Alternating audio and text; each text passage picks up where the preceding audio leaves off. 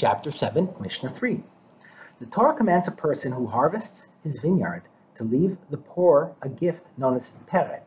The Mishnah describes this gift. We now turn to the words of the Mishnah. What is peret? It is the grapes that fall during the harvest. That is, the individual grapes that fall from the cluster while it is being picked. These must be left for the poor. Only grapes that fall because of the harvest are peret. The Mishnah elaborates.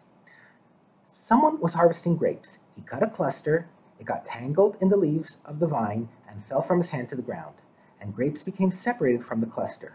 The separated grapes belong to the owner. They are not peret, since they did not fall because of the harvest, that is, as a result of the ordinary process of plucking the clusters from the vines, but rather as a result of getting tangled in the leaves.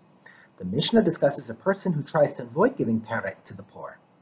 If someone places a basket beneath the grapevine when he harvests the grapes, in order to catch any grapes that fall and keep them for himself, he is robbing the poor. About this it is stated, do not violate the boundary of the poor. That is, do not withhold from the poor that which is rightfully theirs.